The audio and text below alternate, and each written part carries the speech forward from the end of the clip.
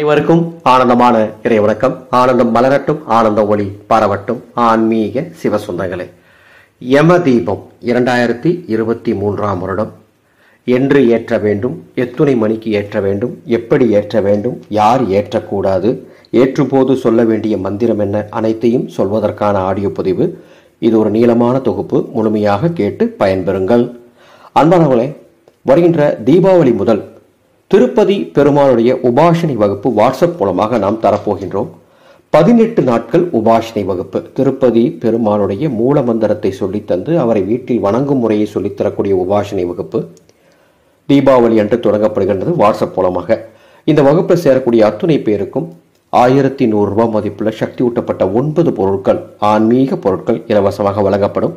அதே போல கந்த சஷ்டி விரதத்தை முன்னிட்டு பதிமூன்றாம் தேதி சஷ்டி குழு என்ற ஒரு குழுவை தொடங்குகின்றேன். இந்த குழு ஏழு நாட்கள் செயல்படும். திருக்கல்யாணம் முடிந்து இந்த குழு கலைக்கப்படும். இந்த குழுவில் சேர விருப்பப்படுறவங்க வாட்ஸ்அப்பை தொடர்பு கொள்ளுங்க. இந்த குழுவில் சேரக்கூடிய அத்துணை பேருக்கும் அறுவடை முருகப்பெருமானினுடைய மூல மந்திரங்களை உபாசனையாக தரப்போகின்றேன். விவரங்கள் தேவையெனில் வாட்ஸ்அப் நம்பர் தொண்ணூற்றி ஒன்பது நாற்பத்தி ரெண்டு ஒன்பது இருபத்தி ரெண்டு நானூறுக்கு தொடர்பு கொள்ளுங்கள். யம தீபம். இந்த யம தீபம் எதற்காக ஏற்ற வேண்டும்?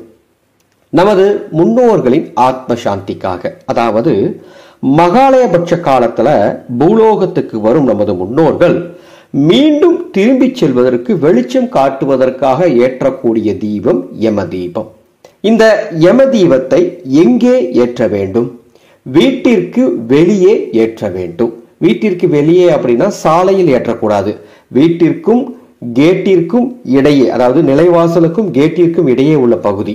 அந்த பகுதியில் ஏற்றலாம் அல்லது மொட்டை மாடியில் ஏற்றலாம். உயரமான இடத்தில் ஏற்ற வேண்டும். உயரமான இடத்தில் ஏற்ற வேண்டும் அப்படின்னு சொன்னா வீட்டுக்கு வெளியே என்ன செய்றீங்கன்னா கொஞ்சம் மண்ணு கொஞ்சம் மண்ணு குவித்து வைத்து ஒரு ஐந்து அல்லது ஏழு செங்கல் வைத்து அதற்கு மேலே இந்த தீபத்தை ஏற்றுங்கள்.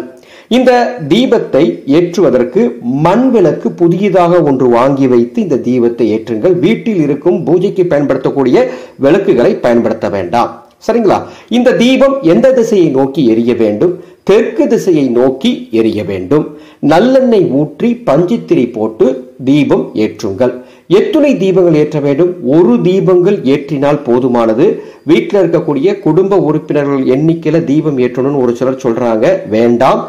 ஒரே ஒரு தீபம் ஏற்றுங்கள் போதுமானது. எப்பொழுதுமே நம்ம தீபத்தை முன்பக்கம் நின்று தீபத்தை விளக்கை ஏற்றுவோம். இந்த யம தீபத்தை மட்டும் நீங்கள் பின்புறமாக நின்றுதான் எண்ணெய் ஊற்றணும் திரி தூண்டி விடுறதா இருந்தாலும் சரி தீபம் ஏற்றுவதா இருந்தாலும் இந்த யம தீபத்தை மட்டும் விளக்குக்கு பின்புறம் இருந்துதான் நீங்கள் தீபம் ஏற்ற வேண்டும். இந்த தீபம் எவ்வளவு நேரம் எரியணும்? ஒரு மணி நேரம் எரிந்தால் போதுமானது. அல்லது அன்று இரவு முழுவதும் நான் எரிய விடுவேன் அப்படின்னா உங்களது வசதி தான் ஒரு மணி நேரம் எரிந்தாலே போதுமானது என்பது என்னுடைய கருத்து. யமதீபம் ஏற்றுவதற்கு பயன்படுத்தக்கூடிய எல்லா பொருட்களையும் நீங்கள் அப்படியே தூர போற்றணும் வீட்டுக்குள்ள கொண்டு வரக்கூடாது.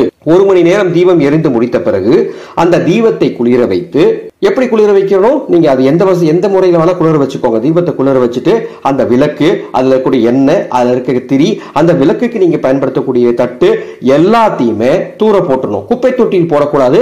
ஆள் நடமாட்டம் இல்லாத இடத்துல நீங்க அப்புறப்படுத்திடலாம். அல்லது ஆறு கடல் குளத்துல போட்டுடலாம் இப்படி யம தீபத்தை ஏற்றணும். யம தீபம் ஏற்றுவது ரொம்ப கவனமா ஏற்றணும். ஒரு சிறு தவறு செய்தால் கூட நிச்சயமாக பாதிப்பு ஏற்படும் என்பதை தெரிவித்துக் கொள்ளுகின்றேன். ஒரு சிலர் யம தீபத்தை வந்து கோதுமை மாவினால் ஏற்றலாம் என்று சொல்வார்கள். கோதுமை மாவினால் ஏற்றலாம்.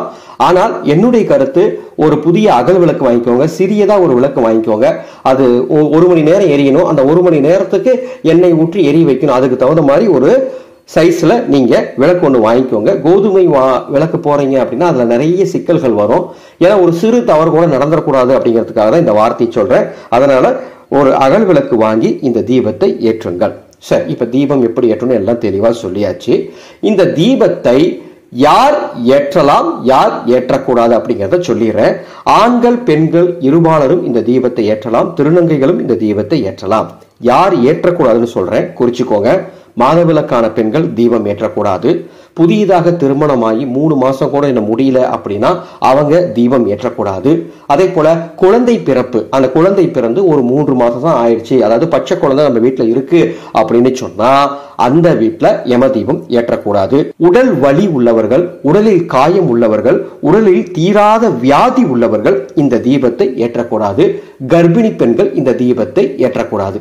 இத்தனை கட்டுப்பாடுகள் இருக்கு. இத்தனை கட்டுப்பாடுகளும் பார்த்து தான் இந்த தீபத்தை ஏற்றணும். ஒரு சிறு தவறு கூட இதுல நடந்துடக்கூடாது சரிங்களா?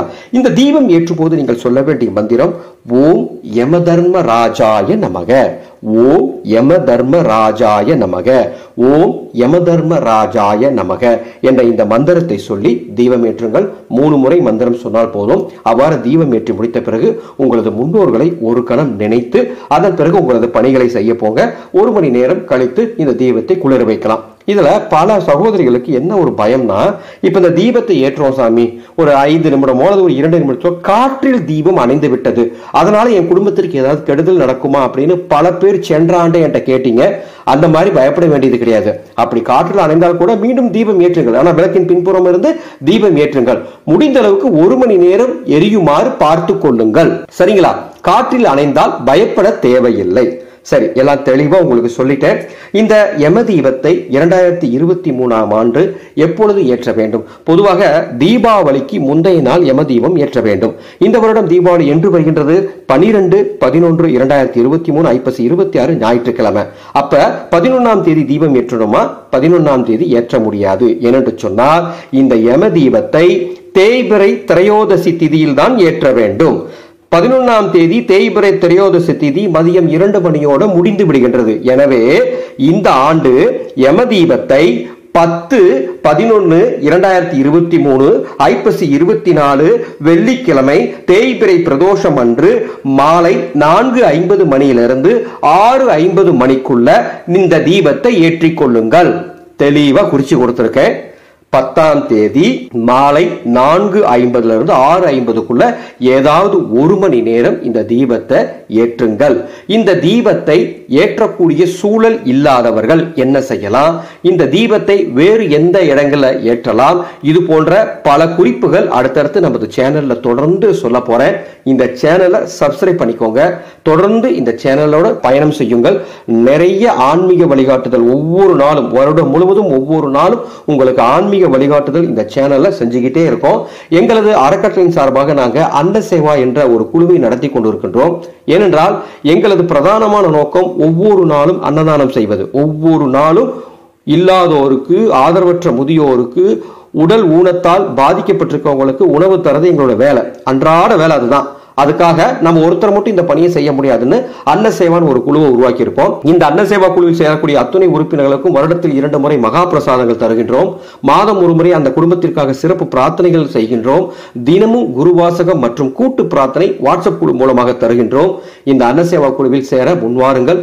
மாதத்தில் ஒரு சிறிய தொகையை இல்லாதோருக்காக ஒதுக்கும் பொழுது இறைவன் உங்களுக்காக பரிபூர்ணமான கருணையை தருவார். மீண்டும் அடுத்த ஒரு ஆயத்தோடு சந்திக்கிறேன். ஆனந்தம் மலரட்டும். ஆனந்த ஒளி. பரவட்டும்.